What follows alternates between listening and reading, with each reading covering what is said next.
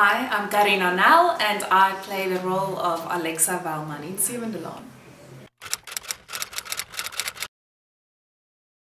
Everyday hero is someone that lives his life with love and compassion for other people. Um, be an everyday hero for Casual Day on Friday the 7th of September.